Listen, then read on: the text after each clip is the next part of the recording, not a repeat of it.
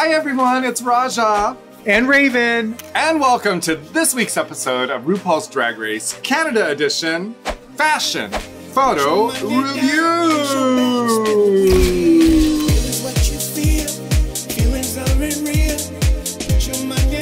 We are going to be tooting and booting the looks of the queens on the main stage of Canada's Drag Race. This week, the queens' looks on the main stage are Que-Becky with the good hair. So it's a hair challenge. I wouldn't call this good hair. I think this is just blonde hair. Category is Que-Becky with the good hair. First up to the stage. Kiara, darling. I love huge, oversized pants, especially in gold. I have a pair that I actually made myself. This is the third time we've seen this, or second or third time we've seen this on the main stage, and it's only episode three. No, I don't love this. I think it's pink chicken. It's underdone. When the chicken is pink, you do not want to stick it in your mouth. I know what you can stick in your mouth when it's pink.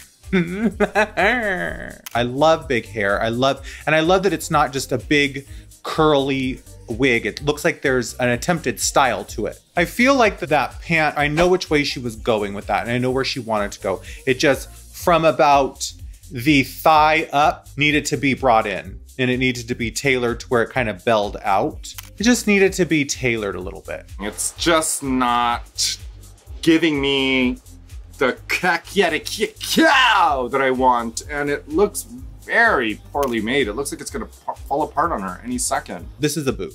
It's a boot. Next we bring to the stage... Jimbo. Oh, ho, ho, ho, ho. bitch! The bodysuit with the harness and the breast, we've seen it. We've seen that. But that much hair, that's fierce, bitch. Yeah, yeah, yeah, yeah, yeah, yeah. It's Becky with the good hair. Hair is the theme. Que-Becky with the good hair. Jimbo can do nothing wrong for me right now, and I love her style. Oh my god, look at it up close. Oh, it is beautiful. I give it a toot. It's a toot. Next. Tynomi Banks. It's very strange. The hair on the dress. Kind of fringe. It looks a little mod. It looks a little go-go. It's cute. I wish the hair on the dress, instead of it just being pieces along the top that went all the way down were kind of layered. So it kind of shook a little. But yeah, it's cute too. Yeah, it's a toot. And next we bring to the stage... Boa. Yes, Boa! That bodysuit girl, she looks dirty as... But the merkin, how inventive. Merkins go back all the way to Shakespearean days. Like, merkins are uh, used at the Crazy Horse in Paris. Merkins are a very theatrical and stage kind of piece and also a little bit of an inside joke, and I love this. And I love that she's wearing that like Borat sling thing. Boa rat. Yes. I give it a toot. Toot. Next, we bring to the stage Lemon. I actually like the hair. I like the hairline on it. I like the color of it. I like that it's teased up with lemons in it. However, I do not like the dress itself. I like that she kind of tried to make this fabric look like a tree trunk it just fits weird. There's no shape. Could have been brought in at the knee, maybe a little bit tighter, or maybe even been leggings, but it just fits weird. And then the shoe doesn't just peek out from under it. It's just the shoe, the whole shoe, and nothing but the shoe. I love a trumpeted skirt. I love a nice bodice. I love, you know, the glovelets. And I there's there's elements to this outfit that I kind of like them. I rarely wear brown things, but when I do, I don't put yellow pellets through them because I don't want to ever look like a turd with poop corns in it. oh my gosh.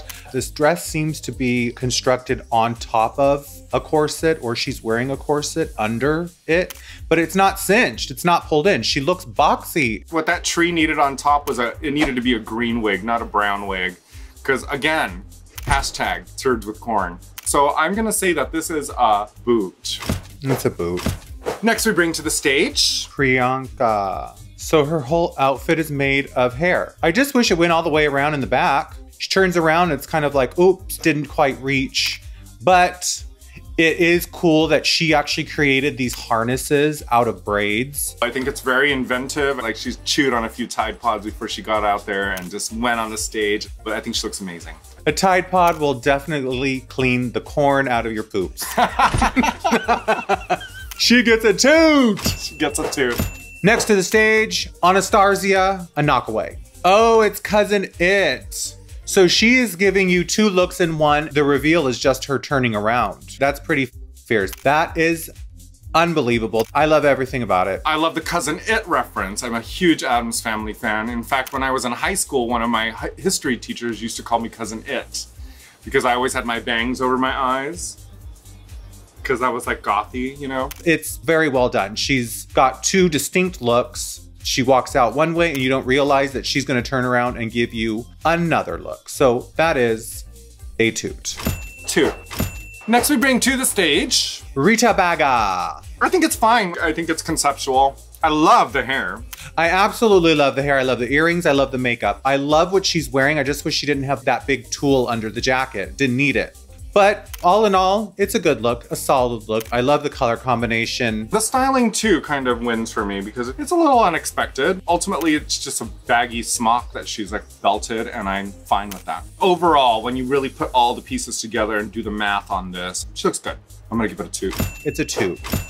Next, Scarlett BoBo. Oh, it spells her name. I can't stand when queens wear something and they have to point to it. Like, did you see it? Did you see it? did you see it? Yeah. I love that she has her name spelt over her head in what looks like a tiara out of hair. And I love that she's wearing hair as fringe. I think Scarlett BoBo looks adorable and it works. And it says her name. Two. I like it too. Next to the stage, Ilona Verley. Cute. I love that she's wearing a heel. Maybe a big chunky one, but she's wearing a heel. This bitch does not do titties. Every time we've seen her, she said, No, I'm not gonna wear them. I ain't gonna do it. And I love it. There's a lot of wonderful things to this, but I really kind of love the boots. The wideness of it and the bagginess of it to me like brings that fashion element to it. But she looks so good. She looks like put together and the poodle reference and those giant buttons for eyes are really, really charming. And I love that each poodle has a wig on. If your poodle isn't wearing a wig, are you even doing drag? I give this a two. Yeah, that is a two. Trend alert! Merkins. Merkin. Merkin on your gherkin. I am a merkin, a merkin, a merkin, just like her crotch. Our, top, two of the week, is Ilona Verley. Verley. Yes. Ilona. This is perfection. This is the tea, yeah. Don't forget to tune in every Thursday to Crave and catch an all new episode of Canada's Drag Race. If you don't live in Canada and Crave is unavailable to you, make sure to check out the link below to see how you can watch Canada's Drag Race streaming around the world wherever you're at at WoW Presents Plus. Right below. I don't remember eating corn. I was just gonna say.